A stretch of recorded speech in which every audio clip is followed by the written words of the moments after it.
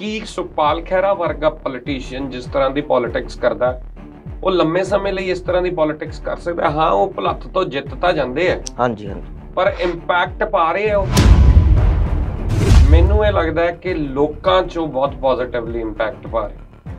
ਪਰ ਸਿਆਸਤਦਾਨ ਜਿਹੜੇ ਨਾਲ ਦੇ ਹੁੰਦੇ ਆ ਉਹ ਇਸ ਤਰ੍ਹਾਂ ਦੀ ਪੋਲਿਟਿਕਸ ਨੂੰ ਮੂਰਖਤਾ ਦੀ ਪੋਲਿਟਿਕਸ ਦੱਸਦੇ ਪੰਜਾਬ ਦੇ ਵਿੱਚ ਪਹਿਲੀ ਗੱਲ ਇਹ ਹੈ ਕਿ ਜਿੰਨੇ ਲੀਡਰਸ ਕਾਮਯਾਬ ਹੋਏ ਔਰ ਜਿਨ੍ਹਾਂ ਦਾ ਬੜਾ ਲੰਬਾ ਕੈਰੀਅਰ ਰਿਹਾ, ਜਿਨ੍ਹਾਂ ਨੇ ਵਜ਼ੀਰੀਆਂ ਤੇ ਮੁੱਖ ਮੰਤਰੀ ਜਾਂ ਅਹੁਦੇਦਾਰੀਆਂ ਮਾਣੀਆਂ ਨੇ, ਉਹ ਕਦੇ ਵੀ ਪ੍ਰੋ ਸਿੱਖ ਨਹੀਂ ਰਹੇ। ਉਹ ਕਦੇ ਵੀ ਬੰਦੀ ਸਿੰਘਾਂ ਦੀ ਗੱਲ ਨਹੀਂ ਕਰਦੇ ਰਹੇ। ਉਹ ਹਮੇਸ਼ਾ ਪ੍ਰੋ ਨੈਸ਼ਨਲਿਸਟ ਅਪਰੋਚ ਦੇ ਹੋਣਗੇ। ਉਹ ਹਮੇਸ਼ਾ ਸੈਂਟਰ ਦੇ ਗੁੱਡ ਫੇਥ ਵਾਲੇ ਹੋਣਗੇ। ਸਿੱਖ ਲੀਡਰ ਬਹੁਤ ਸਾਰੇ ਤੁਸੀਂ ਦੇਖੋ ਜਿਹੜੇ ਉਸ ਲਾਈਨ ਤੋਂ ਪਾਸੇ ਹਟ ਕੇ ਜਿਨ੍ਹਾਂ ਨੇ ਸਿਆਸਤ ਕਰਨ ਦੀ ਕੋਸ਼ਿਸ਼ ਕੀਤੀ ਜਾਂ ਤਾਂ ਉਹਨਾਂ ਨੂੰ ਗੋਲੀ ਵੱਜ ਗਈ ਹਾਂਜੀ। ਜਾਂ ਸਾਈਡ ਲਾਈਨ ਹੋ ਗਏ ਪਿੱਛੇ ਜਾਂ ਸਿਆਸਤ 'ਚ ਜ਼ੀਰੋ ਹੋ ਗਏ। ਰਵਨੀਤ ਬਿੱਟੂ ਜਿੱਤ ਜਾਂਦੇ ਆ ਹਰ ਵਾਰੀ। ਉਹ ਜਿਨ੍ਹਾਂ ਨੂੰ ਤੁਸੀਂ ਸਿੱਖ ਆਈਡਲ ਮੰਨਦੇ ਉਹਨਾਂ ਨੂੰ ਗਾਲਾਂ ਕੱਢਦੇ ਆ। ਉਹ ਉਸੇ ਬੇਅੰਤ ਸਿੰਘ ਦਾ ਪੁੱਤ ਹੈ ਜਿਹੜੇ ਬੇਅੰਤ ਸਿੰਘ ਤੇ ਇਹ ਦੋਸ਼ ਹੈ ਵੀ ਉਹਨੇ 25000 ਨੌਜਵਾਨ ਕੇਪੀਐਸ ਨਾਲ ਮਿਲ ਕੇ ਮਰਾਇਆ। ਇਹੀ ਹੈ ਨਾ। ਇਲੈਕਟੋਰਲ ਪੋਲਿਟਿਕਸ ਦਾ ਇਮੋਸ਼ਨ ਦੇ ਨਾਲ ਕੋਈ ਲੈਣਾ ਦੇਣਾ ਨਹੀਂ ਹੈ। 84 ਹੁੰਦੀ ਹੈ। ਬਲੂ ਸਟਾਰ ਹੁੰਦਾ ਹੈ। ਸਿੱਖ ਮਾਰੇ ਜਾਂਦੇ ਉਸ ਤੋਂ ਬਾਅਦ ਦਿੱਲੀ ਦੇ ਵਿੱਚ। ਫਿਰ ਬਲੈਕ ਥੰਡਰ ਹੁੰਦਾ ਹੈ। ਤੇ 92 ਚ ਫਿਰ ਕਾਂਗਰਸ ਦੀ ਸਰਕਾਰ ਬਣਦੀ ਹੈ। 2002 ਚ ਫਿਰ ਕਾਂਗਰਸ ਦੀ ਸਰਕਾਰ ਬਣਦੀ ਹੈ। ਇਸੇ ਕਾਂਗਰਸੀ ਲੀਡਰ ਨੇ ਸੁਖਪਾਲ ਖਹਿਰਾ ਬਾਰੇ ਬੋਲਿਆ ਤਾਂ ਮੈਨੂੰ ਦੱਸੋ ਇੱਕ ਵੀ ਦੱਸੋ। ਕਿਸੇ ਨੇ ਨਹੀਂ ਬੋਲ ਕਿੱਡੀ ਹੈਰਾਨੀ ਦੀ ਗੱਲ ਹੈ। ਕੀ ਕਾਂਗਰਸ ਨੂੰ ਥਾਂ ਥਾਂ ਤੇ ਐਜੀਟੇਸ਼ਨ ਨਹੀਂ ਕਰ ਦੇਣੇ ਚਾਹੀਦੇ ਸੀ? ਹੋਣਾ ਇਹ ਧਰਨੇ ਨਹੀਂ ਲਾਉਣੇ ਚਾਹੀਦੇ ਸੀ ਵੀ ਯਾਰ ਇਹ ਤਾਂ ਪੋਲੀਟੀਕਲ ਹਰਵਿੰਦ ਕੇਜਰੀਵਾਲ ਤੇ ਈਡੀ ਸੰਬੰਧ ਦੇਵੇ ਤਾਂ ਉਹ ਪੋਲੀਟੀਕਲ ਵੈਂਡੇਟਾ ਹਾਂਜੀ। ਸੁਖਪਾਲ ਖਹਿਰਾ ਦੇ ਨਾਲ ਤੁਸੀਂ ਐ ਕਰਤਾ ਪੋਲੀਟੀਕਲ ਵੈਂਡੇਟਾ ਨਹੀਂ। ਮੱਕੜ ਸਾਹਿਬ ਸੁਖਪਾਲ ਖਹਿਰਾ ਦਾ ਕੀ ਬਣਿਆ ਫਿਰ?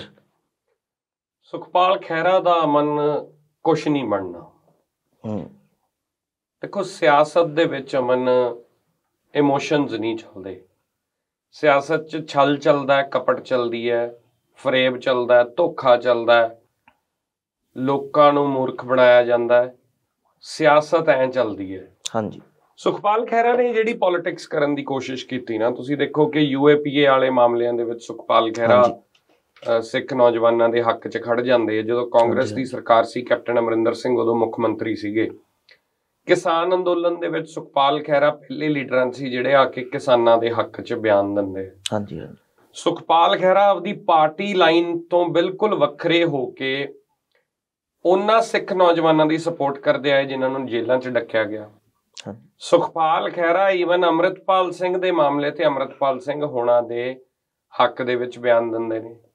ਸੁਖਪਾਲ ਖਹਿਰਾ ਬੰਦੀ ਸਿੰਘਾਂ ਦੇ ਹੱਕ 'ਚ ਬਿਆਨ ਦਿੰਦੇ ਨੇ ਸੁਖਪਾਲ ਖਹਿਰਾ ਜਦੋਂ ਕੋਠੀ ਦਾ ਮਾਮਲਾ ਹੁੰਦਾ ਹੈ ਸਰਬਜੀਤ ਕੌਰ ਮਾਣੂਕੇ ਵਾਲਾ ਉੱਥੇ ਹਾਂਜੀ। ਉਹ ਮਾਨੂਕੇ ਵਾਲਾ ਕੇ ਸਰਬਜੀਤ ਮਾਨੂਕੇ ਵਾਲਾ ਬਿਲਕੁਲ ਸੁਖਪਾਲ ਖਹਿਰਾ ਉੱਥੇ ਪਹੁੰਚ ਜਾਂਦੇ ਆ ਹਾਂਜੀ ਹਾਂਜੀ। ਲਗਾਤਾਰ ਇੱਕ ਤੋਂ ਬਾਅਦ ਇੱਕ ਅਟੈਕ ਜਿਹੜਾ ਸਰਕਾਰ ਤੇ ਔਰ ਸਰਕਾਰ ਬਣਦੇ ਹੀ ਜਦੋਂ ਹਰ ਬੰਦਾ ਇਹ ਕਹਿ ਰਿਹਾ ਸੀਗਾ ਕਿ ਇਸ ਸਰਕਾਰ ਨੂੰ ਥੋੜਾ ਸਮਾਂ ਦਿੱਤਾ ਜਾਵੇ ਸੁਖਪਾਲ ਖਹਿਰਾ ਨੇ ਸਵਾਲ ਚੁੱਕਣੇ ਸ਼ੁਰੂ ਕਰਤੇ ਸੀ ਹਾਂਜੀ। ਉਹਦੇ ਆਪੋਜ਼ਿਟ ਕਾਂਗਰਸ ਪਾਰਟੀ ਦੇ ਬਾਕੀ ਸਾਰੇ ਲੀਡਰ ਚੁੱਪ ਬੈਠੇ ਸੀ।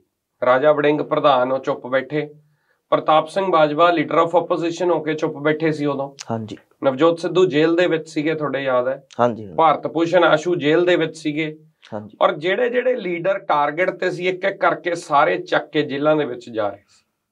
ਸਾਧੂ ਸਿੰਘ ਧਰਮਸੋਤ ਸੰਗਤ ਸਿੰਘ ਗਿਲਜੀਆਂ ਦੇ ਉੱਤੇ ਪਰਚਾ ਹੁੰਦਾ ਇੱਕ ਇੱਕ ਕਰਕੇ ਕਾਂਗਰਸ ਦੀ ਜਿੰਨੀ ਲੀਡਰਸ਼ਿਪ ਸੀ, ਉਹ ਸਾਰੀ ਟਾਰਗੇਟ ਤੇ ਸੀ।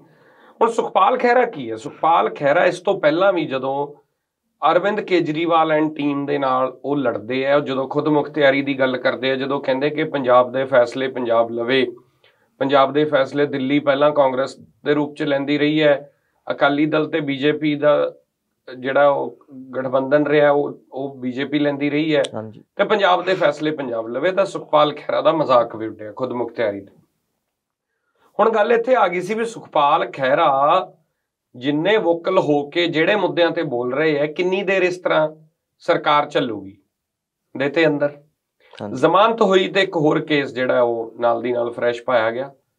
ਉਸ ਕੇਸ ਦੇ ਵਿੱਚ ਇੱਕ ਦਿਨ ਦਾ ਰਿਮਾਂਡ ਮਿਲਿਆ ਸੀ ਹੁਣ ਫਿਰ ਜੁਡੀਸ਼ੀਅਲ ਦੇ ਉੱਤੇ ਉਹਨਾਂ ਨੂੰ ਵਾਪਸ ਜੇਲ੍ਹ 'ਚ ਭੇਜ ਦਿੱਤਾ ਗਿਆ। ਗੱਲ ਅਮਨ ਇਹ ਹੈ ਕਿ ਕੀ ਸੁਖਪਾਲ ਖਹਿਰਾ ਵਰਗਾ ਪੋਲੀਟੀਸ਼ੀਅਨ ਜਿਸ ਤਰ੍ਹਾਂ ਦੀ ਪੋਲਿਟਿਕਸ ਕਰਦਾ ਉਹ ਲੰਮੇ ਸਮੇਂ ਲਈ ਇਸ ਤਰ੍ਹਾਂ ਦੀ ਪੋਲਿਟਿਕਸ ਕਰ ਸਕਦਾ ਹੈ? ਹਾਂ ਉਹ ਭਲੱਥ ਤੋਂ ਜਿੱਤ ਤਾਂ ਜਾਂਦੇ ਆ। ਹਾਂਜੀ ਹਾਂਜੀ। ਪਰ ਇੰਪੈਕਟ ਪਾ ਰਹੇ ਆ ਉਹ? ਰਾਈਟ ਮੈਨੂੰ ਇਹ ਲੱਗਦਾ ਹੈ ਕਿ ਲੋਕਾਂ 'ਚੋਂ ਬਹੁਤ ਪੋਜ਼ਿਟਿਵਲੀ ਇੰਪੈਕਟ ਪਾ ਰਹੇ ਪਰ ਸਿਆਸਤਦਾਨ ਜਿਹੜੇ ਨਾਲ ਦੇ ਹੁੰਦੇ ਆ ਉਹ ਇਸ ਤਰ੍ਹਾਂ ਦੀ ਪੋਲਿਟਿਕਸ ਨੂੰ ਮੂਰਖਤਾ ਦੀ ਪੋਲਿਟਿਕਸ ਦੱਸਦੇ ਆ। ਜਦ ਕਿ ਪੋਲਿਟਿਕਸ ਹੋਣੀ ਇਹੀ ਚਾਹੀਦੀ ਹੈ। ਜੋ? ਸੁਖਪਾਲ ਖਹਿਰਾ ਦੇਖੋ ਉਹਦਾ ਰੀਜ਼ਨ ਹੈ। ਪੰਜਾਬ ਦੇ ਵਿੱਚ ਪਹਿਲੀ ਗੱਲ ਇਹ ਹੈ ਕਿ ਜਿੰਨੇ ਲੀਡਰਸ ਕਾਮਯਾਬ ਹੋਏ ਔਰ ਜਿਨ੍ਹਾਂ ਦਾ ਬੜਾ ਲੰਬਾ ਕੈਰੀਅਰ ਰਿਹਾ ਜਿਨ੍ਹਾਂ ਨੇ ਵਜ਼ੀਰੀਆਂ ਤੇ ਮੁੱਖ ਮੰਤਰੀ ਜਾਂ ਅਹੁਦੇਦਾਰੀਆਂ ਮਾਣੀਆਂ ਨੇ ਉਹ ਕਦੇ ਵੀ ਪ੍ਰੋ ਸਿੱਖ ਨਹੀਂ ਰਹੇ। ਉਹ ਕਦੇ ਵੀ ਬੰਦੀ ਸਿੰਘਾਂ ਦੀ ਗੱਲ ਨਹੀਂ ਕਰਦੇ ਰਹੇ।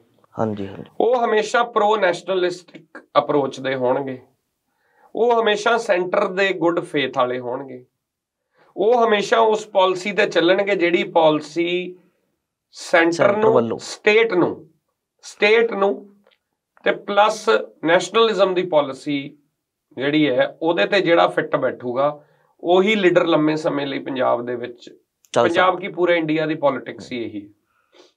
ਉਹੀ ਲੀਡਰ। ਔਰ ਦੂਜੀ ਗੱਲ ਇਹ ਹੈ ਜਿਵੇਂ ਪ੍ਰਕਾਸ਼ ਸਿੰਘ ਬਾਦਲ ਦੀ ਕਾਮਯਾਬੀ ਦਾ ਇਹ ਰਾਜ ਸੀ। ਹਾਂਜੀ ਹਾਂਜੀ। ਸਿੱਖ ਲੀਡਰ ਬਹੁਤ ਸਾਰੇ ਤੁਸੀਂ ਦੇਖੋ ਜਿਹੜੇ ਉਸ ਲਾਈਨ ਤੋਂ ਪਾਸੇ ਹਟ ਕੇ ਜਿਨ੍ਹਾਂ ਨੇ ਸਿਆਸਤ ਕਰਨ ਦੀ ਕੋਸ਼ਿਸ਼ ਕੀਤੀ ਜਾਂ ਤਾਂ ਉਹਨਾਂ ਨੂੰ ਗੋਲੀ ਵੱਜ ਗਈ। ਹਾਂਜੀ। ਜਾਂ ਸਾਈਡ ਲਾਈਨ ਹੋ ਗਏ। ਪਿੱਛੇ ਜਾਂ ਸਿਆਸਤ 'ਚ ਜ਼ੀਰੋ ਹੋ ਗਏ। ਲੌਂਗੋਵਾਲ ਹਾਂਜੀ। ਟੌੜਾ ਮਤਲਬ ਕਿੰਨੇ ਨਾਂ ਲਾਉਂਗੇ ਤੁਸੀਂ ਬਹੁਤ ਨਾਮ ਨੇ ਜੀ। ਸੰਤ ਫਤਿਹ ਸਿੰਘ ਵੀ ਇੱਕ ਲੀਡਰ ਸੀ ਪਰ ਉਹ ਚਲੋ ਹਾਰਟ ਅਟੈਕ ਨਾਲ ਉਹਨਾਂ ਦੀ ਮੇਰੇ ਖਿਆਲ 1962 ਦੇ ਵਿੱਚ ਸ਼ਾਇਦ ਸੰਤ ਫਤਿਹ ਸਿੰਘ ਦੀ ਮੌਤ ਹੋ ਜਾਂਦੀ ਹੈ 72 ਚ ਹੋ ਜਾਂਦੀ ਮੈਂ ਮੈਂ ਭੁੱਲ ਰਿਹਾ। ਤਾਂ ਬੜੇ ਸਾਰੇ ਲੀਡਰ ਨੇ ਤੁਸੀਂ ਕੱਢੋਗੇ ਜਦੋਂ ਕਿ ਜਿਹੜੇ ਲੀਡਰਸ ਲਾਈਨ ਤੋਂ ਹਟ ਕੇ ਪੋਲਿਟਿਕਸ ਕਰਨ ਦੀ ਕੋਸ਼ਿਸ਼ ਕਰ ਰਹੇ ਸੀਗੇ ਜਿਹੜੀ ਇੱਕ ਤੈਅ ਪੋਲਿਟਿਕਸ ਦੀ ਮਰਿਆਦਾ ਬਣੀ ਹੈ ਜਿਹੜੀ ਨੈਸ਼ਨਲਿਜ਼ਮ ਦੀ ਮਰਿਆਦਾ ਹੈ ਜਿਹੜੀ ਸਟੇਟ ਨੂੰ ਫਿੱਟ ਬਹਿਣ ਵਾਲੀ ਮਰਿਆਦਾ ਹੈ। ਅੱਜ ਦੀ ਆਮ ਆਦਮੀ ਪਾਰਟੀ 92 ਸੀਟਾਂ ਜਿੱਤਣ ਤੋਂ ਬਾਅਦ ਵੀ ਉਸੇ ਦਾਇਰੇ 'ਚ ਹੀ ਸਿਆਸਤ ਕਰ ਰਹੀ ਹੈ। ਹਾਂਜੀ। ਐਨਕਾਊਂਟਰਸ ਹੋ ਰਹੇ ਆ ਲੋਕ ਬੜੇ ਖੁਸ਼ ਨੇ। ਪਰ ਐਨਕਾਊਂਟਰਸ ਤੇ ਖੁਸ਼ ਹੋਣ ਵਾਲੇ ਲੋਕ ਮੂਰਖ ਲੋਕ ਹੁੰਦੇ ਆ। ਇਹ ਕਿੱਦਾਂ? ਦੇਖੋ ਐਨਕਾਊਂਟਰ ਜਿਹੜਾ ਹੈ ਨਾ ਚਾਰ ਗੁਨਾਹਗਾਰਾਂ ਨੂੰ ਤੁਸੀਂ ਮਾਰ ਦਿਓਗੇ। ਉਹਦੇ ਕੰਟੈਕਸਟ ਦੇ ਵਿੱਚ ਇੱਕ ਵੀ ਬੇਕਸੂਰ ਮਾਰਿਆ ਗਿਆ ਤੇ ਇਹ ਥਿਊਰੀ। ਰੋਂਗ ਹੈ। ਰੋਜ਼ ਐਨਕਾਊਂਟਰ ਕਿਵੇਂ ਹੋ ਰਿਹਾ? ਇੰਨੇ ਚਿਰ ਤੋਂ ਤਾਂ ਕੋਈ ਐਨਕਾਊਂਟਰ ਨਹੀਂ ਸੀ ਹੋਇਆ। ਜਦੋਂ ਖਾੜਕੂਆਂ 'ਚ ਗਲਤ ਬੰਦੇ ਪੈ ਗਏ ਜਦੋਂ ਉਹਨਾਂ ਨੂੰ ਪੁਲਿਸ ਨੇ ਮਾਰਨਾ ਸ਼ੁਰੂ ਕੀਤਾ ਸੀ ਤਾਂ ਸ਼ੁਰੂ ਸ਼ੁਰੂ 'ਚ ਲੋਕ ਬਹੁਤ? ਤਾੜੀਆਂ ਮਾਰਦੇ ਸੀ। ਬੇਕਸੂਰ ਬਹੁਤ ਮਾਰੇ ਜੀ ਉਦੋਂ ਸ਼ੁਰੂ ਸ਼ੁਰੂ ਵਿੱਚ ਤਾੜੀਆਂ ਮਾਰਦੇ ਸੀ। ਮੰਨ ਲਓ ਕਿਸੇ ਨੇ ਕੋਈ ਗਲਤ ਹਿੰਦੂ ਮਾਰਿਆ ਕੋਈ ਹੋ ਸਕਦਾ ਉਹ ਸਟੇਟ ਦਾ ਹੀ ਕੋਈ ਏਜੰਟ ਹੋਵੇ ਹੱਥ ਟੋਕਾ ਹੋਵੇ। ਮੰਨ ਲਓ ਕੋਈ ਬੰਦਾ ਲਾਲਚ ਵਸ ਆ ਕੇ ਸਿੱਖੀ ਬਾਣੇ ਚ ਆ ਕੇ ਕਿਸੇ ਨੂੰ ਪੈਸਿਆਂ ਪਿੱਛੇ ਹੀ ਮਾਰ ਗਿਆ ਸੀ। ਤੇ ਪੁਲਿਸ ਨੇ ਉਹਨੂੰ ਮਾਰਿਆ। ਤਾਂ ਲੋਕਾਂ ਨੇ ਬਹੁਤ ਤਾੜੀਆਂ ਮਾਰੀਆਂ। ਉਹਦਾ ਅੰਤ ਕੀ ਹੋਇਆ? ਉਹਦਾ ਅੰਤ ਇਹ ਹੋਇਆ ਕਿ 25000 ਨੌਜਵਾਨ ਬੇਕਸੂਰ ਪੰਜਾਬ 'ਚ ਮਾਰ ਦਿੱਤਾ ਗਿਆ। ਅੱਜ ਜਿਹੜੇ ਐਨਕਾਊਂਟਰ ਹੋ ਰਿਹਾ ਹੈ ਮੋਮੈਂਟਰੀ ਤੌਰ ਤੇ ਤੁਸੀਂ 4 ਦਿਨ ਤਾੜੀਆਂ ਮਾਰ ਲਓਗੇ ਖੁਸ਼ ਹੋ। ਦੇਖਿਆ ਸਰਕਾਰ ਆਈ ਹੈ ਗੈਂਗਸਟਰਾਂ ਦਾ ਹਾਲ ਦੇਖੋ ਮਾਰਨੇ ਸ਼ੁਰੂ ਕਰਤੇ। ਐਨਕਾਊਂਟਰਸ ਪੀਸ ਕਦੇ ਨਹੀਂ ਲੈ ਕੇ ਆ ਸਕਦੇ। ਐਨਕਾਊਂਟਰਸ ਸਟੇਟ ਦੀ ਲਾਅ ਐਂਡ ਆਰਡਰ ਨੂੰ ਕਦੇ ਠੀਕ ਨਹੀਂ ਕਰ ਸਕਦੇ। ਐਨਕਾਊਂਟਰਸ ਇੱਕ ਨਾ ਇੱਕ ਦਿਨ 4 ਜਾਂ 8 ਹੋ ਸਕਦਾ ਸਹੀ ਕਰ ਦਿੱਤੇ ਹੋਣ। ਨੌਵਾਂ ਬੇਕਸੂਰੇ ਦਾ। ਹੋਊਗਾ ਹੀ ਹੋਊਗਾ। ਸਾਰੇ ਅਫਸਰਾਂ ਦੀ ਗਰੰਟੀ ਨਹੀਂ ਲਈ ਜਾ ਸਕਦੀ। ਹਾਂਜੀ। ਦੋ ਅਫਸਰ ਚੰਗੇ ਹੋ ਸਕਦੇ ਉਹਨਾਂ ਦਾ ਇੰਟੈਂਸ਼ਨ ਰਾਈਟ ਹੋ ਸਕਦੀ ਹੈ। ਤੀਜਾ ਅਫਸਰ ਹੈ ਜਾਂ ਹੋਊਗਾ ਆਗੇ ਨਾ ਘੁੱਟਨੇ ਵਰਗਿਆਂ ਦੇ ਨਾਂ ਆਈ ਜਾਂਦੇ ਨਾ ਸਾਹਮਣੇ। ਜਸਟੀਫਾਈ ਕਿਵੇਂ ਕਰ ਦਿਓਗੇ? ਸਟੇਟ ਜਿਹੜੀ ਹੈ ਹਿਊਮੈਨਿਟੇਰੀਅਨ ਐਸਪੈਕਟ ਤੇ ਹੀ ਚੱਲਣੀ ਚਾਹੀਦੀ ਹੈ। ਹੁਣ ਆ ਦੋ ਦਿਨ ਫਿਰ ਇਹਨਾਂ ਗੱਲਾਂ ਤੇ ਲੋਕ ਥੱਲੇ ਕਮੈਂਟਾਂ 'ਚ ਇਹ ਵੀ ਲਿਖਦੇ ਆ ਜੇ ਨਹੀਂ ਮਾਰਦੇ ਸੀ ਤਾਂ ਪ੍ਰੋਬਲਮ ਸੀ ਹੁਣ ਮਾਰਨ ਲੱਗੇ ਤਾਂ। ਪ੍ਰੋਬਲਮ ਹੈ। ਇਹ ਅਪਰੋਚ ਅਨਪੜਤਾ ਦੀ ਅਪਰੋਚ ਹੈ। ਤੁਸੀਂ ਐਨਕਾਊਂਟਰਾਂ ਨੂੰ ਜੇ ਠੀਕ ਠਹਿਰਾ ਰਹੇ ਹੋ ਜੇ ਤੁਸ ਤੁਹਾਨੂੰ ਇਹ ਲੱਗਦਾ ਕਿ ਗੈਂਗਸਟਰ ਮਾਰਤੇ ਗੋਲੀ ਮਾਰ ਕੇ ਤੇ ਫਿਨਿਸ਼ ਹੋ ਜਾਊਗਾ ਕ੍ਰਾਈਮ ਜੇ ਐ ਮੁੱਕਦਾ ਤਾਂ ਤੁਸੀਂ ਅੱਗ ਪਿਛਲੇ ਇੱਕ ਹਫ਼ਤੇ 'ਚ 10 ਕ ਕੀਤੇ ਆ? ਹਾਂਜੀ। ਮੌਤਾਂ ਕਿਹੜਾ ਫਿਰ ਬੰਦ ਹੋ ਗਈਆਂ ਪੰਜਾਬ 'ਚ? ਕ੍ਰਾਈਮ ਕਿਹੜਾ ਫਿਰ ਖਤਮ ਹੋ ਗਿਆ? ਨਾਲੇ ਆਮ ਪਬਲਿਕ ਨੂੰ ਕੀ ਪਤਾ ਇਹ ਬੇਕਸੂਰ ਆ ਜਿਹੇ ਗੈਂਗਸਟਰ ਸੀ? ਕੱਲ ਮੈਂ ਸੁਣ ਰਿਹਾ ਸੀਗਾ ਮੇਰੇ ਖਿਆਲ ਆਰਐਸ ਬੈਂਸ ਹੋਣਾ ਦਾ ਇੱਕ ਇੰਟਰਵਿਊ ਕਿਸੇ ਨਿੱਜੀ ਚੈਨਲ ਤੇ। ਵੀ ਦੋ ਫੇਕ ਐਨਕਾਊਂਟਰ ਦੇ ਕੇਸ ਉਹਨਾਂ ਕੋਲੇ ਆਏ। ਸ਼ਾਇਦ ਉਹਨਾਂ ਦਾ ਹੀ ਮੈਂ ਸੁਣ ਰਿਹਾ ਸੀ। ਹੋ ਗਈ ਹੋ ਜਾਣਾ ਸ਼ੁਰੂ ਕੰਮ।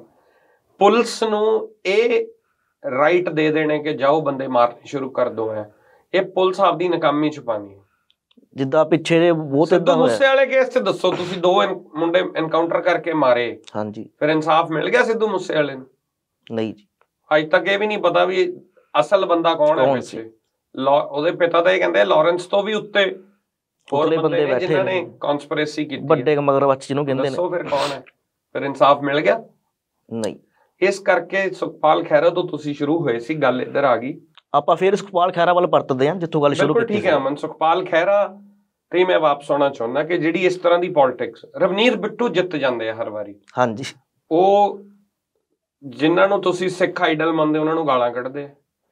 ਉਹ ਉਸੇ ਬੇਅੰਤ ਸਿੰਘ ਦਾ ਪੁੱਤ ਹੈ ਜਿਹੜੇ ਬੇਅੰਤ ਸਿੰਘ ਤੇ ਇਹ ਦੋਸ਼ ਹੈ ਵੀ ਉਹਨੇ 25000 ਨੌਜਵਾਨ ਕੇਪੀਐਸ। ਨਾਲ ਮਿਲ ਕੇ ਮਰਾਇਆ। ਇਹੀ ਹੈ ਨਾ? ਹਾਂਜੀ ਹਾਂਜੀ। ਉਹ ਉਸੇ ਬੇਅੰਤ ਸਿੰਘ ਦਾ ਪੁੱਤ ਹੈ ਜਿਹਦੀ ਅਸੈਸੀਨੇਸ਼ਨ ਦੇ ਵਿੱਚ ਭਾਈ ਹਵਾਰਾ ਭਾਈ ਰਾਜੋਆਣਾ ਅੰਦਰ ਬੈਠੇ। ਹਾਂਜੀ। ਉਹ ਵੱਡੀ ਲੀਡ ਨਾਲ ਜਿੱਤਦਾ ਹੈ। ਤਿੰਨ ਵਾਰੀ ਉਹ ਐਮਪੀ ਬਣ ਚੁੱਕਿਆ ਹੈ। ਹਾਂਜੀ। ਖਾਲਿਸਤਾਨ ਦੇ ਸ਼ਰਿਆਮ ਆ ਕੇ ਉਹ ਖਿਲਾਫ ਬੋਲਦਾ ਹੈ। ਹਾਂਜੀ।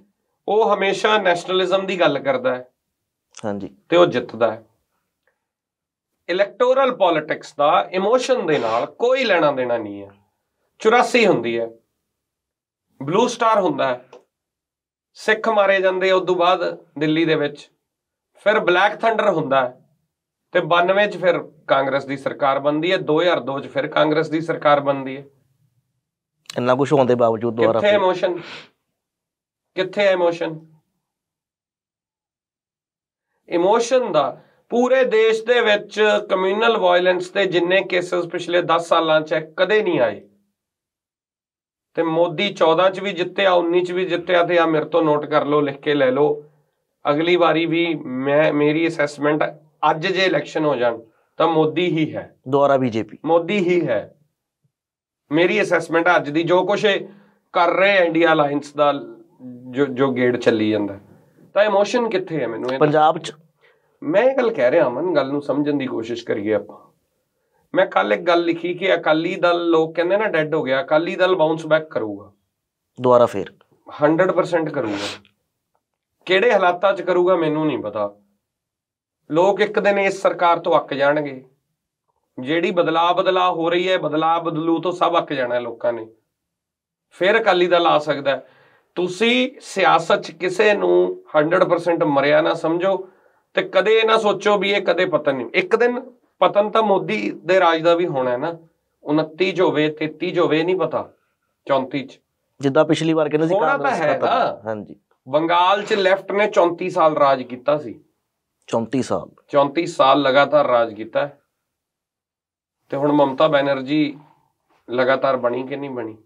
ਇੱਕ। ਘਟਨਾ ਸੰਗੂਰ ਦੀ ਨੈਨੋ ਵਾਲੇ ਪਲਾਂਟ ਦੀ 2008 ਦੀ ਨੇ ਸਾਰੀ ਕਹਾਣੀ ਬਦਲ ਕੇ ਬਦਲ ਕੇ। ਰੱਖਤੀ ਸੀ ਹਾਂਜੀ। ਦੋ ਵਾਰ ਮਨਮੋਹਨ ਸਿੰਘ ਦੀ ਲਗਾਤਾਰ ਸਰਕਾਰ ਰਹੀ ਹੈ ਉਸ ਤੋਂ ਬਾਅਦ ਮੋਦੀ ਦੀ ਦੋ ਵਾਰ ਲਗਾਤਾਰ ਇਹ ਹੋ ਸਕਦਾ ਹੁਣ ਤੀਜੀ ਵਾਰੀ। ਹੋ ਸਕ ਮੈਨੂੰ ਤਾਂ ਲੱਗਦਾ ਹੈ ਵੀ ਅੱਜ ਦੇ ਇਲੈਕਸ਼ਨ ਹੋ ਜਾਣ ਤਾਂ ਕੁਝ ਨਹੀਂ ਹੁੰਦਾ। ਉਵੇਂ ਜਿਹੜੇ ਜਿਹੜੇ ਇਮੋਸ਼ਨ ਤੇ 99 ਦੇ ਵਿੱਚ ਕਿੰਨੇ ਬੰਦੇ ਜਿੱਤੇ? ਬਿਮਲ ਕੌਰ ਖਾਲਸਾ ਜਿੱਤੇ। ਹਾਂਜੀ। ਉਹਨਾਂ ਦੇ ਮੇਰੇ ਖਿਆਲ ਸੋਹਰਾ ਸਾਹਿਬ ਬਠਿੰਡੇ ਤੋਂ ਜਿੱਤੇ। ਸਿਮਰਨਜੀਤ ਮਾਨ ਜਿੱਤੇ। ਭਾਈ ਮੰਡ ਜਿੱਤੇ। ਉਹ ਇਮੋਸ਼ਨ ਕੈਰੀ ਫਾਰਵਰਡ ਕਿਉਂ ਨਹੀਂ ਹੋਇਆ ਕਦੇ? ਆ ਹੁਣ ਜੇ ਦੁਬਾਰਾ ਸਿਮਰਨਜੀਤ ਮਾਨ ਕਿੰਨੇ ਸਾਲਾਂ ਮੂਸੇ ਵਾਲਾ ਤੇ ਦੀਪ ਸਿੱਧੂ ਕਰਕੇ ਜਿੱਤ ਗਏ। ਜਿੱਤ ਗਏ ਨਹੀਂ ਤਾਂ ਉਦੋਂ ਪਹਿਲਾਂ ਹੀ ਥੋੜੇ ਦਿਨ ਪਹਿਲਾਂ ਹੀ ਅਮਰਗੜ੍ਹ ਤੋਂ ਜਿੱਤੇ ਨਹੀਂ ਉਦੋਂ ਫਿਰ। ਜਿੱਤੇ ਨਹੀਂ ਗੱਲ ਸਮਝਣ ਦੀ ਕੋਸ਼ਿਸ਼ ਕਰੀਏ। ਜਿਹੜੇ ਪੋਲੀਟੀਸ਼ੀਅਨ ਜਿਹੜੀ ਇੱਕ ਧਾਰਾ ਬਣੀ ਹੈ ਉਸੇ ਤੇ ਚੱਲ ਰਹੇ ਹੈ। ਉਵੇਂ ਹੀ ਅੱਜ ਅਕਾਲੀ ਦਲ ਨੂੰ ਵੀ ਲੋੜ ਹੈ ਆਪਦੀ ਉਸ ਧਾਰਾ ਨੂੰ ਫੜ ਲੇ ਜਿਹੜੀ ਧਾਰਾ ਤੇ ਅਕਾਲੀ ਦਲ ਚੱਲਦਾ ਆਇਆ। ਇਹ ਤਾਂ ਵਿਚਾਰੇ ਉਹ ਪਤਾ ਕੀ ਹੈ ਅਕਾਲੀ ਦਲ ਦਾ ਹਾਲ ਉਹ ਹੋਇਆ ਪਿਆ ਵੀ ਜਿੱਧਰ ਨੂੰ ਸ਼ਾਟ ਵੱਜਦਾ ਉਧਰ ਨੂੰ ਫੀਲਡਰ ਲਾ ਦਿੰਦੇ ਹੈ? ਉਹ ਕਵਰ ਤੇ ਚੌਕਾ। ਮਾਰਿਆ ਉਹ ਕਹਿੰਦਾ ਚੱਲ ਓਏ ਤੂੰ ਕਵਰ ਤੇ ਅਗਲਾ ਉਹ। ਲੈਗ ਤੇ ਮਾਰ ਦਿੰਦੇ ਆ। ਉਹ ਕਵਰ ਵਾਲਾ ਕੱਢ ਕੇ ਉਹ ਲੈਗ ਤੇ ਪਾਉਂਦੇ ਆ ਉਹ ਪਿੱਛੇ ਛੱਕਾ ਮਾਰ ਦਿੰਦੇ ਆ। ਉਹ ਲੈਗ ਵਾਲੇ ਨੂੰ ਫਿਰ ਪਿੱਛੇ ਲੈ ਜਾਂਦੇ ਉਹ ਸਾਹਮਣੇ ਛੱਕਾ ਮਾਰ ਦਿੰਦੇ ਆ। ਉਹ ਸਾਹਮਣੇ ਲੈ ਕੇ ਜਾਂਦੇ ਆ ਉਹ ਕਿਤੇ ਇੱਧਰ ਉੱਧਰ। ਪੁਆਇੰਟ ਤੇ ਖੇਡ ਦਿੰਦਾ ਹੈ। ਅਕਾਲੀ ਦਲ ਆਇਆ ਹੋਇਆ ਪਿਆ ਵਿਚਾਰਾ। ਇਹਨਾਂ ਨੂੰ ਇਹ ਨਹੀਂ ਸਮਝ ਆ ਰਹੀ ਅਸੀਂ ਸੈਕੂਲਰ ਆ ਪੰਥਕ ਆ ਅਸੀਂ। ਕਿਹੜੇ ਧਿਰ ਦੇ ਆ? ਬੀਜੇਪੀ ਦੇ ਨਾਲ ਅਲਾਈਅੰਸ ਹੈ ਉਹ ਕੋਈ ਬਿਆਨ ਦੇ ਦਿੰਦਾ ਬੀਜੇਪੀ ਬੀਐਸਪੀ ਨਾਲ ਅਲਾਈਅੰਸ ਹੈ। ਹਾਂਜੀ ਤੇ ਹੁਣ ਕਹਿੰਦੇ ਆ ਵੀ ਬੰਦੀ ਸਿੰਘ ਰਿਹਾ ਕਰ ਦੋ ਫਿਰ ਬੀਜੇਪੀ ਨਾਲ ਸੋਚ ਲਾਂਗੇ ਅਲਾਈਅੰਸ ਕਰਨ ਦਾ। ਤੇ ਫਿਰ ਜਿਹੜੇ ਵਿਚਾਰੇ ਜਿਨ੍ਹਾਂ ਨੂੰ ਜਿਹੜੇ ਐਡੇ ਦਲਿਤ ਪਰਿਵਾਰ ਨਾਲ ਜੁੜੇ ਆ ਜਿਨ੍ਹਾਂ ਨੂੰ ਇਹ ਭਰੋਸਾ ਦੇਈ ਜਾਂਦੇ ਅਸੀਂ ਨਾਲ ਆ ਫਿਰ ਉਹਨਾਂ ਦਾ ਕੀ ਕਰੋਗੇ? ਉਹਨਾਂ ਨੂੰ ਵੀ ਜਵਾਬ ਦੇ ਦਿਓ ਭਾਈ। ਉਹਨਾਂ ਨੂੰ ਇਹ ਨਹੀਂ ਪਤਾ ਲੱਗ ਰਿਹਾ। ਕਾਂਗਰਸ ਨੂੰ ਇਹ ਨਹੀਂ ਪਤਾ ਲੱਗ ਰਿਹਾ ਵੀ ਅਸੀਂ ਗੇਮ ਕਿੱਥੇ ਉਹ ਰਗਬੀ ਦੇ ਮੈਦਾਨ 'ਚ ਕ੍ਰਿਕਟ ਖੇਡੀ ਜਾਂਦੇ। ਆ। ਕਾਂਗਰਸ ਦਾ ਤਾਂ ਹਾਲ ਹੈ। ਉਹ ਨਵਜੋਤ ਸਿੱਧੂ ਬੱਲਾ ਥੱਲੇ ਨਹੀਂ ਲੈ ਕੇ ਆਉਂਦਾ ਪਿਆ। ਹਵਾ ਚ ਹੀ ਹੈ। ਉਹ ਹਵਾ 'ਚ ਜਿਵੇਂ ਰਗਬੀ ਵਾਲੇ ਮਾਰਦੇ ਆ ਉਹ ਕਹਿੰਦਾ ਹੋਮ ਰਨ ਮਾਰੂ ਨਹੀਂ ਖੇਡਦਾ ਨਹੀਂ ਨਵਜੋਤ ਸਿੱਧੂ ਦੇ ਹਾਲਾਤ ਹੋਏ ਪਏ ਰਾਜਾ ਵੜਿੰਗ ਵਿਚਾਰਾ ਕਬੱਡੀ ਖੇਡੀ ਜਾਂਦਾ ਹੈ। ਰਗਬੀ ਦੇ ਗਰਾਊਂਡ ਕ੍ਰਿਕਟ ਦੇ ਮੈਦਾਨ 'ਚ। ਅੱਛਾ। ਹਾਂ ਉਹ ਅੱਗੋਂ ਬਾਲਰ ਬਾਲ ਲੈ ਕੇ ਆਇਆ, ਰਾਜਾ ਵੜਿੰਗ ਕੋਡੀ ਕੋਡੀ ਕੋਡੀ ਕੋਡੀ ਕੋਡੀ ਕੋਡੀ ਕਰੀ ਜਾਂਦਾ ਉਹ ਬੋਲਡ ਹੋ ਜਾਂਦਾ। ਉਹ ਬਾਅਦ ਯਾਦ ਆਉਂਦਾ ਭਰਾਵਾ ਬੈਟ ਹੱਥ 'ਚ ਫੜਾਇਆ ਸੀ ਸ਼ਾਟ ਮਾਰਨਾ ਸੀ। ਉਹ ਕੋਡੀ ਖੇਡੀ ਜਾਂਦੇ ਨੇ। ਤੂੰ ਰੇਡ ਦੱਸ। ਆਹ ਹਾਲਾਤ ਬਣੇ ਪਏ ਆ। ਕਾਂਗਰਸ ਦਾ ਤਾਂ ਦੇਖੋ ਜਿਹੜੀ ਅੱਜ ਦੀ ਪੋਜੀਸ਼ਨ ਹੈ ਇਹ ਇਲੈਕਸ਼ਨ ਤੋਂ ਪਹਿਲਾਂ ਵਿਧਾਨ ਸਭਾ ਤੋਂ ਆਪਸ 'ਚ ਲੜੀ ਜਾਂਦੇ ਸੀ ਹੁਣ ਵੀ ਆਪਸ 'ਚ ਹੈ। ਮਹਾਰਾਜ ਤੋਂ ਬਾਅਦ ਬਠਿੰਡੇ ਰੈਲੀ ਰੱਖ ਲਈ ਸਿੱਧੂ ਸਾਹਿਬ ਨੇ। ਰਾਜਾ ਵੜਿੰਗ ਪੱਗ ਬੰਨਣ ਲੱਗੇ ਵੀ ਮੈਂ ਸੀਐਮ। ਸ਼ਾਇਦ ਤਾਂ ਬਣ ਜਾ। ਪੱਗ ਕਰਕੇ। ਬਾਜਵਾ ਸਾਹਿਬ ਵਿਚਾਰੇ ਬੋਲਦੇ ਹੀ ਕੁਛ ਨਹੀਂਗੇ ਉਹ ਜਮਾ ਚੁੱਪ ਨੇ ਹੁਣ। ਕਿਸੇ ਕਾਂਗਰਸੀ ਲੀਡਰ ਨੇ ਸੁਖਪਾਲ ਖਹਿਰਾ ਬਾਰੇ ਬੋਲਿਆ ਤਾਂ ਮੈਨੂੰ ਦੱਸੋ ਇੱਕ ਵੀ ਦੱਸੋ। ਕਿਸੇ ਨੇ ਨਹੀਂ ਬੋਲ ਕਿੱਡੀ ਹੈਰਾਨੀ ਦੀ ਗੱਲ ਹੈ। ਕੀ ਕਾਂਗਰਸ ਨੂੰ ਥਾਂ ਥਾਂ ਤੇ ਐਜੀਟੇਸ਼ਨ ਨਹੀਂ ਕਰ ਦੇਣੇ ਚਾਹੀਦੇ ਸੀ? ਹੁਣ ਇਹ ਆਏ ਧਰਨੇ ਨਹੀਂ ਲਾਉਣੇ ਚਾਹੀਦੇ ਸੀ ਵੀ ਯਾਰ ਇਹ ਤਾਂ ਪੋਲੀਟੀਕਲ ਹਰਵਿੰਦ ਕੇਜਰੀਵਾਲ ਤੇ ਈਡੀ ਸੰਮਨ ਦੇਵੇ ਤਾਂ ਉਹ ਪੋਲੀਟੀਕਲ ਵੈਂਡੇਟਾ ਹਾਂਜੀ। ਸੁਖਪਾਲ ਖਹਿਰਾ ਦੇ ਨਾਲ ਤੁਸੀਂ ਐ ਕਰਤਾ ਪੋਲੀਟੀਕਲ ਵੈਂਡੇਟਾ ਨਹੀਂ ਹੈ। ਤੇ ਬੜੇ ਵੱਡੇ ਸਵਾਲ ਨੇ। ਸੋ ਮੈਨੂੰ ਲੱਗਦਾ ਸੁਖਪਾਲ ਖਹਿਰਾ ਦੀ ਜਿਸ ਤਰ੍ਹਾਂ ਦੀ ਪੋਲਿਟਿਕਸ ਕਰ ਰਿਹਾ ਹੈ ਭਗਵੰਤ ਮਾਨ ਇਸ ਰੇਸ 'ਚ ਬਹੁਤ ਪਿੱਛੇ ਸੀਗੇ। ਸਿਆਸਤ ਜਿਹੜੀ ਹੈ ਅਮਨ ਉਹ ਚਾਪਲੂਸੀ ਚਾਟੂਕਾਰਤਾ ਤਲਵੇ ਚੱਟਣ ਵੱਡੇ ਲੀਡਰ ਦਾ ਪੈਰ ਚੱਟੀ ਜਾਣਾ ਬਸ। ਛੱਡਣਾ ਨਹੀਂ। ਛੱਡਣਾ ਨਹੀਂ ਚੱਟੀ ਜਾਓ ਬਸ। ਇਹ ਤਾਂ ਸਿਆਸਤ ਹੈ। ਉਹ ਜਿਹੜੇ ਸੀਐਮ ਤੋਂ ਲੈ ਕੇ ਵਜ਼ੀਰ ਬਣੇ ਉਹਨਾਂ ਨੇ ਭਾਈ ਕੀਤਾ ਅਰਵਿੰਦ ਕੇਜਰੀਵਾਲ ਦਾ। ਅਗਲੇ ਬੈਠੇ ਆ। ਇਹ ਖੁਦ ਮੁਖਤਿਆਰੀ ਖੁਦ ਮੁਖਤਿਆਰੀ ਕਰੀ ਗਏ। ਚੰਗੇ ਭਲੇ ਲੀਡਰ ਆਫ ਆਪੋਜੀਸ਼ਨ ਬਣਾਏ ਸੀ ਉੱਥੋਂ ਵੀ ਲੈ ਗਏ। ਤੇ ਉਹ ਕਹਿੰਦਾ ਮੈਂ ਨਹੀਂ ਭਾਈ ਤੁਹਾਡੇ ਪੈਰ ਚੱਟਦਾ। ਅੱਜ ਅੰਦਰ ਨੇ। ਕੁਮਾਰ ਵਿਸ਼ਵਾਸ ਕਹਿੰਦਾ ਮੈਂ ਨਹੀਂ ਚੱਟਦਾ। ਹੂੰ। ਪ੍ਰਸ਼ਾਂਤ ਭੂਸ਼ਣ ਕਹਿੰਦਾ ਮੈਂ ਨਹੀਂ ਚੱਟਦਾ ਭਾਈ ਤੁਹਾਡੇ ਪੈਰ। ਜੋਗਿੰਦਰ ਯਾਦਵ ਸੁੱਚਾ ਸਿੰਘ ਛੋਟੇਪੁਰ। ਤੇ ਜਿਹੜੇ ਸੀਗੇ ਉਹ ਕਹਿੰਦੇ ਹੱਟ ਪਾਸੇ ਉਸ ਸੰਘਰਸ਼ਨਾਂ ਦੇ ਬੈਠੇ ਆ ਜੇ ਆਨੰਦ ਲੈ ਰਹੇ ਆ। ਐਵੇਂ ਹੀ ਕਾਂਗਰਸ 'ਚ ਹੈ ਐਵੇਂ ਹੀ ਬੀਜੇਪੀ 'ਚ ਹੈ। ਜੇ ਥੋੜੀ ਜੀ ਅੱਖ ਕੱਢਦੇ ਹੋ ਇਹ ਸਿਸਟਮ ਜਿਹੜਾ ਉਹ ਤੁਹਾਨੂੰ ਪਾਸੇ ਕਰ ਦਿੰਦਾ। ਵਸੁੰਧਰਾ ਰਾਜੇ ਸਿੰਧੀਆ ਨੂੰ ਪੁੱਛ ਲਓ ਜੇ ਨਹੀਂ ਯਕੀਨ ਹੈਗਾ ਤਾਂ ਹਾਂਜੀ ਸੋ ਸਿਆਸਤ ਐਵੇਂ ਹੀ ਚੱਲਦੀ। ਧੰਨਵਾਦ